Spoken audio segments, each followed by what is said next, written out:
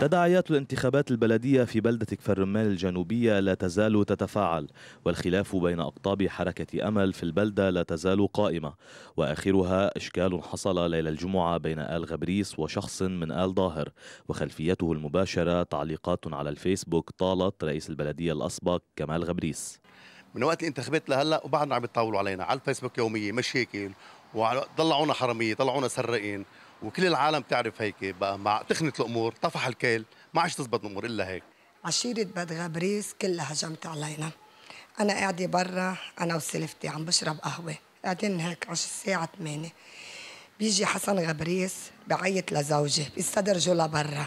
بقول له يا علي بدي أحكي معك كلمة. آه بقوم بقول له أنا محد كل شيء على الفيسبوك وأنا بعتذر منكم وحقكم على راسي. بيجوا 16 سيارة مسلحين. عاملين مثل وادي الذئاب حسن شقيق كمال غبريس تواجد أثناء وقوع الإشكال. ومن وجهة نظره فإن التطاول كان كبيرا ولم يستطيعوا السيطرة على فورة غضب الشباب. نحن نزلنا امبارح قلنا لهم طولوا روقوا ما كانت تروق الأمور. وقلنا لهم ما عادش يسوى أكثر من هيك يصير. آه على الفيسبوك على طول متواصل متواصل. وخلونا حرامية وفي في عيال في عائله في عائله طويلة عندها عائله بتغبريس وأنت بتعرف جيد بالضيعة الحج كمال غبريس له له ناس كثير بالضيعة. شو بدي طالب الدولة؟ شو في دولة؟ لو في دولة ما بتتركهم كانوا ليصفوا بعضهم والعالم كلها عم تدق للدرك الدرك. قالوا خلوهم يصفوا بعض بس يصير في قتيل. خلص بتنزل الدولة. وأنا جايبة تقرير طبيب شرعي وإيهاب اللي ضربني. الإشكال تخلله إطلاق نار كثيف ويظهر الفيديو الذي حصلت عليه الجديد عددا من المسلحين. تحقيقات موجودة والسلاح موجود كله بالنيابة العامة هلأ عند الدرك وفي قوة أمنية.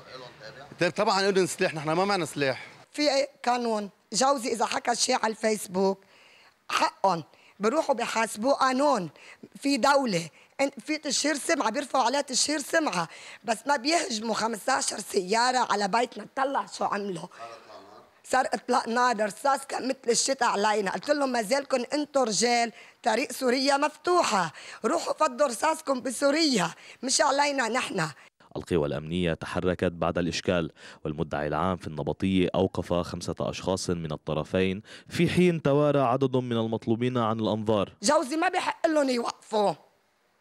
إذا هن بدهم يحكوا قانون جوزي هن اللي هجموا شايف لو جوزي راح على بيتهم أو جوزي تعدى على على بيتهم أنا معهم أنا بيجي ضده لجوزي. معلومات الجديد تفيد أن تدخلات كبيرة تحصل لحل الإشكال ولإطلاق سراح الموقوفين في حين أن التخوف كبير من تداعيات هذه المشكلة خصوصا أن سببها قضايا تتعلق بعقارات ومشاعات سيتم الحديث عنها لاحقا.